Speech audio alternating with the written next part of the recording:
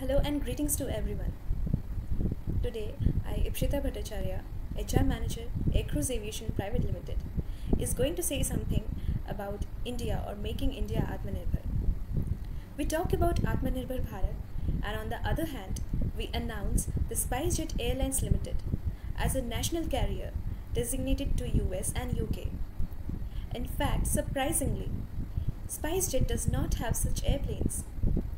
They will wet lease the pilot, the crew, and the aircraft from the foreign countries. Does that mean the Air India now has got buried by this announcement and Jet Airways slots are given to them? Because even when we have aircrafts of Air India and Vistara free, we are choosing wet lease from the foreign countries.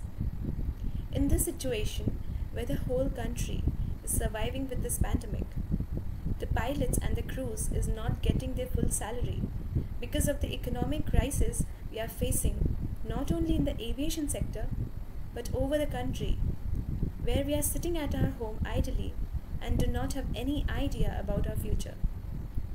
In this situation to what extent is it right to take away their employment? Is it the way to make new india or making india atmanirbhar? Thank you